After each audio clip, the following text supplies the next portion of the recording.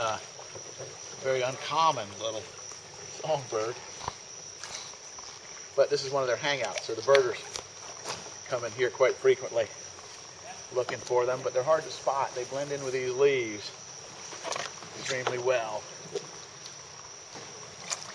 Ooh. Yep, that's them.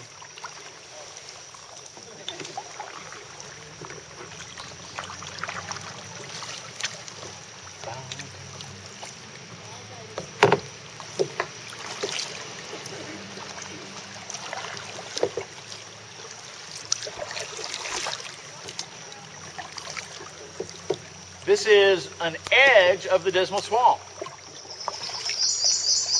So the Dismal Swamp, we often get confused because we put political boundaries around them and we have a Great Dismal Swamp National Wildlife Refuge. Well, that's just the part that we actually preserved.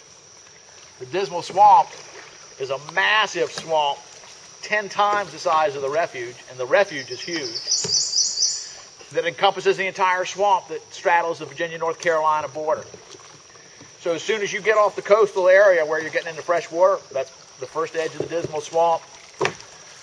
Runs north all the way up to Route 58 out to Suffolk. South, actually well past their roads through the Dismal Swamp on the southern end.